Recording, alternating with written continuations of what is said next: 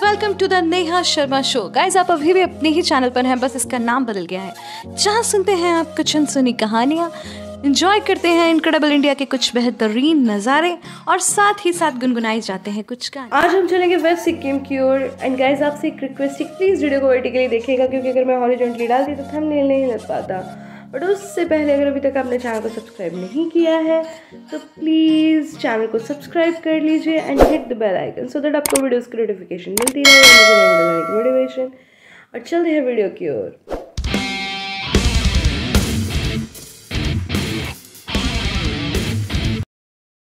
तो गाइज़ हम निकल पड़े थे गैंगटॉक से दार्जिलिंग की ओर और, और ये अच्छी खासी नाइन आवर्स की लॉन्ग जर्नी हो गई थी क्योंकि हम गए थे वाया रावंगला एंड नामची क्योंकि रावंगला में बुद्धा पार्क और नामची में चार धाम के दर्शन भी हमें करने थे।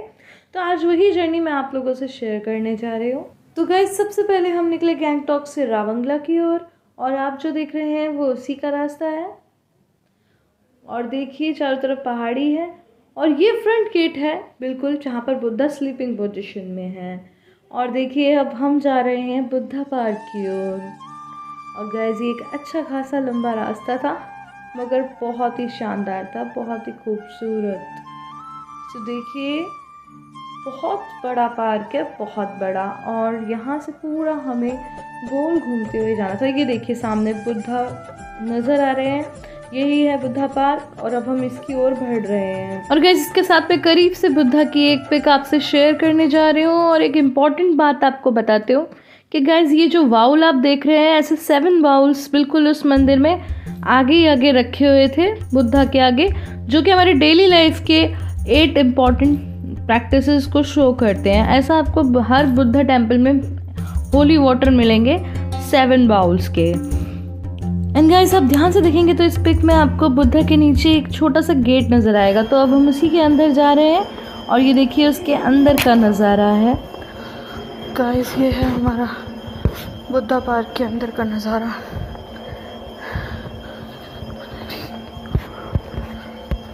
उठो ऊपर मत जा, पापा ने कहा था कुछ भी नहीं है। मैं तो वापस जा रही हूँ। तो गाइज़ हमें यहाँ पर तो इतना कुछ खास नहीं मिला। कुछ पेंटिंग्स ज़रूर थी, लेकिन इतनी खास नहीं थी। तो हमने वेल डिसाइड किया कि अभी हमें यहीं से वापस जाना है, क्योंकि हमें लगातार पापा की कॉल आ रही थी कि तुम लोग बहुत देर लगा रहे हो।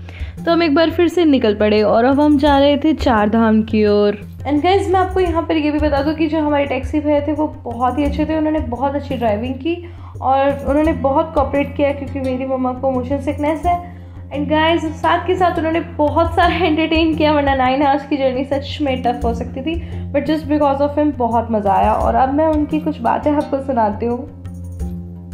हम लोग सजा नहीं बोलते आप लोग क्या बोलते हो? वो लंबा लंबा स्टिक होता है ना? इसका इसका इसका। अच्छा इसको हरा हरा लंबा लंबा स्टिक होता है ना? गन्ना गन्ना। गन्ना हाँ, वही। अच्छी शुगर। बनती है वो। शुगर नहीं? हाँ। ये सब्ज़ी खाते हैं ना इसको? तोरई।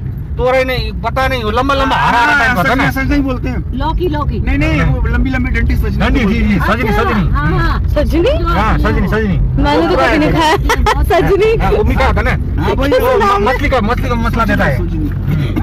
नहीं बोलते हैं। हाँ सजनी वो इसका वो पात भी खाता है हाँ, वो- फूल भी खाता है आलू सब्ज़ी सब्ज़ी भी डालता है सब्ज़ी में। जी जी जी। म- म- मछली के मसाले के। उसको मतलब चूस के खाता है। जी जी चूज़ कर हाँ। सांभर के मसाले में डालते हैं सांभर सांभर। अच्छा वो डोमेस्टिक? हाँ। अच्छा समझ गए। हाँ। बोलते हैं। एंड गाइस किसी को भी अगर इनका नंबर चाहिए तो मुझे कमेंट सेक्शन में पूछ लीजिएगा। वैसे भी यहाँ के लोकल लोग जब हिंदी बोलते हैं मुझे बहुत अच्छा लगता है। सो so फाइनली हम लोग अब पहुँच गए थे चार धाम और ये उसी का बैकयार्ड है। आप देख सकते हैं और अब हम जा रहे हैं सीधा मंदिर की ओर। और ये बेहद ही खूबसूरत नज़ारा है गाइस मुझे बहुत अच्छा लगा यहाँ आकर। तो अब मैं आपको सीधा लेकर चलती हूँ मंदिर के प्रांगण में।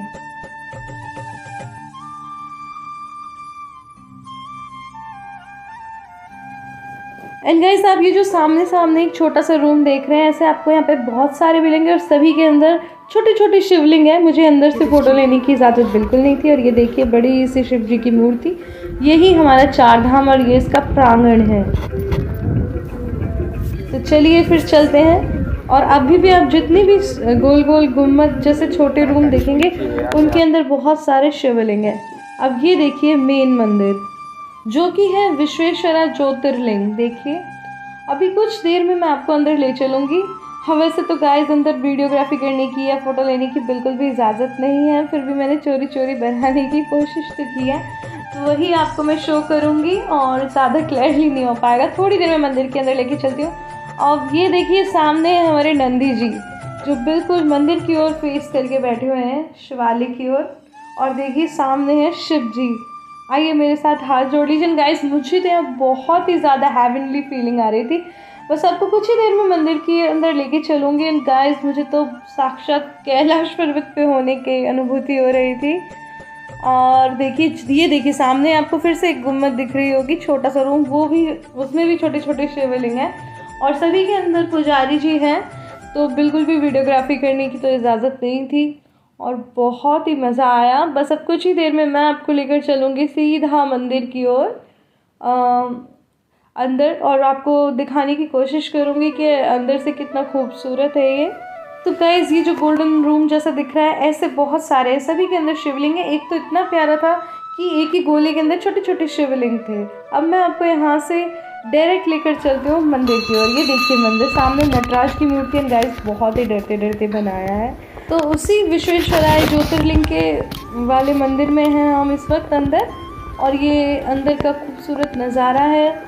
चारों तरफ़ इस तरह की पेंटिंग बनी हुई है, जो कि आप देख सकते हैं। और यहाँ पे आप देखेंगे कि नंदी और जो शेर है, बिल्कुल आमने सामने बैठे हुए हैं। अभी आप देखिएगा इस पेंटिंग में, देखिए, है ना? कितना खूबसूरत। तो चलिए, अब फिर से हमने परिक्रमा लगाते हुए आगे की ओर बढ़ना है। और मैं आपको सामने दिखाऊँगी दूर से ही एक शिवलिंग है, जहाँ पर एक, अब एक लंबी घंटी जैसी चीज़ थी, उससे दूध चढ़ाना था। वो बहुत खूबसूरत था, मैं पास से तो नहीं दिखा पाऊँगी। देखिए, ये थी नटराज की मूर्ति एक बार फिर से। अब देखिए सामने, मैं आपको दिखाती हूँ शिवलिंग। ये जो यहाँ से रोशनी आ रही है, ये शिवलिंग है। जो कि मैंने थोड़ा दूर से ही लिया है। गाइज़ ये वो रेस्टोरेंट था जो कि चार धाम के अंदर ही है और हमने यहाँ पर बहुत ही अच्छा लंच किया। प्योर वेजिटेरियन है ये। उसकी चार धाम के अंदर ही मिलेगा। आपको बाहर भी जाने की ज़रूरत नहीं है। तो ये है अंदर से होटल और हमने यहाँ पे खाना खाया। और खाना बहुत ही टेस्टी था, बहुत ही ज़्यादा मज़ा आया हमें। और इसके अगर आप देखेंगे तो बाहर भी बेंचेस आपको मिलेंगी। यहाँ पे भी बैठ के खा सकते हैं ओपन में। तो बहुत ही पॉजिटिव वाइब्स आ रही थी। बहुत मज़ा आया तो दर्शन करने के बाद हमें।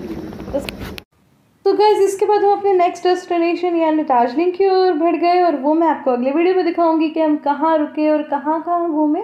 और ये बहुत ही ब्यूटीफुल सी वीडियो होने वाली है। तो तब तक के लिए अपना बहुत सा ख्याल रखिएगा। आज के लिए इतना ही। Bye bye take care